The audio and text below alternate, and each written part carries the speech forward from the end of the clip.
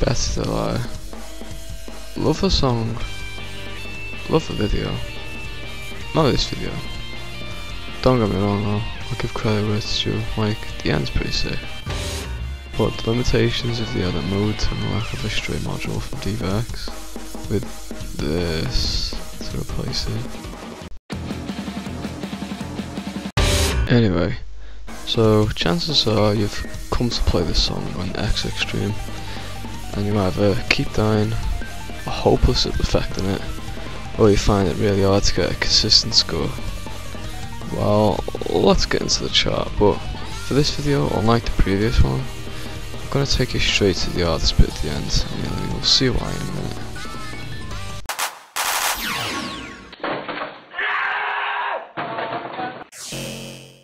Okay, this is the worst part of the song, hands down.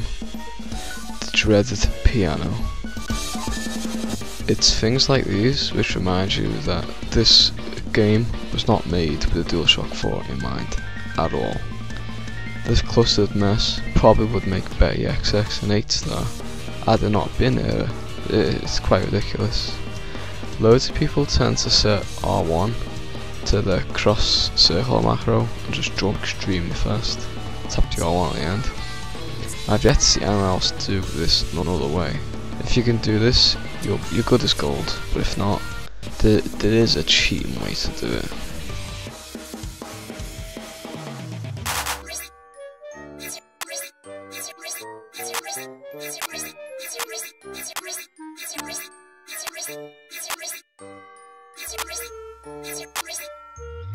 There.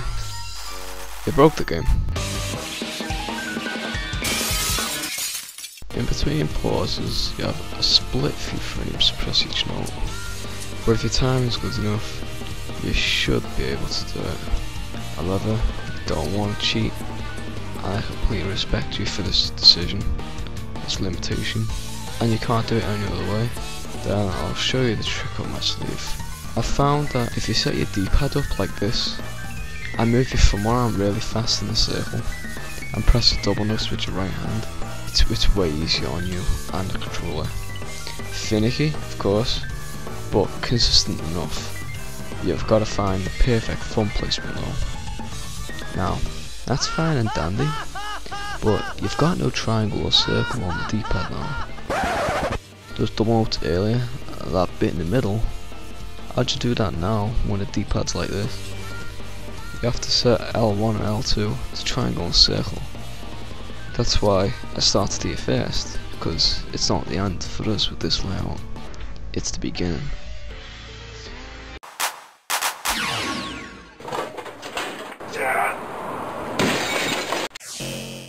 These are pretty simple when you get used to them. Just do them normally, but pressing L1 instead of up on a D-pad. The only time you shouldn't is if you're holding triangle with L1 at the end. In which case, just quickly press triangle after square with your right hand for that particular one. Or start with L2 and do it backwards if you get me.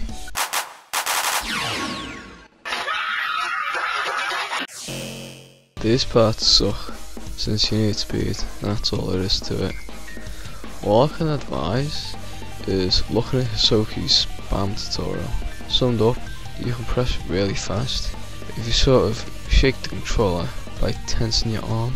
So with each shake, yeah, press them. Because of the D-pad layout, you've got a lot more leeway in how you do these. I find pressing up in the circle spam easier than pressing down, and pressing right in the square spam easier than pressing left. But that, that's just me and my crappy D-pad.